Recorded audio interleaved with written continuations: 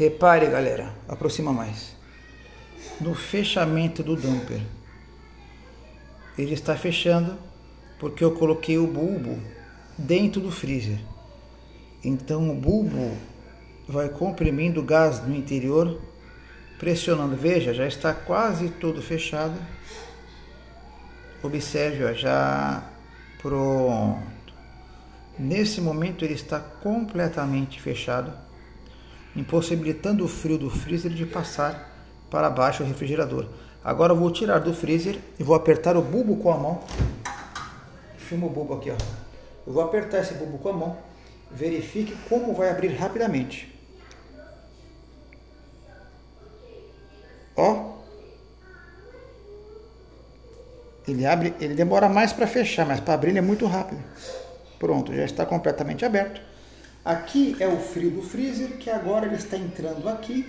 E aqui, esse orifício aqui, dá, dá acesso à parte de baixo da geladeira do refrigerador. E quando ele fecha, é que ele impede a área de baixo de congelar os alimentos. Se, por exemplo, travar na posição aberta, a parte de baixo vai para menos zero, abaixo de zero vai congelar tudo e se travar fechado, vai estragar tudo que vai ficar a temperatura ambiente. Então, este é o dumper. No vídeo passado, mostrei como fazer a substituição, como desmontar ele da, da peça maior na qual ele é acoplado e colocar outro. É, eu tentei fazer o teste com o famoso teste com copo de gelo, que você põe o copo de gelo no bulbo. Não deu certo. Então coloquei no freezer. Mas como você vai num lugar onde justamente a geladeira, se bem que o, caso o problema da geladeira do cliente seja é, a parte de baixo não estar refrigerando, então significa que a parte de cima, que é o congelador, está funcionando. Então você põe o bulbo dentro do freezer do congelador, porque o não funcionamento do dumper não tem nada a ver com o funcionamento de cima do freezer.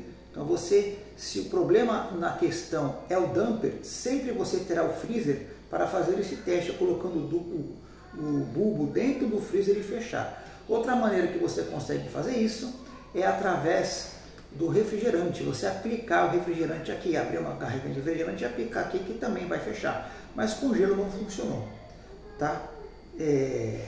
Lembrando que esse aqui é o, o dumper mecânico, né? Existem também um dumper é, que eles chamam de eletrônico, mas na verdade é o dumper elétrico. Eu não gosto. Esse aqui eu acho muito mais eficiente, beleza?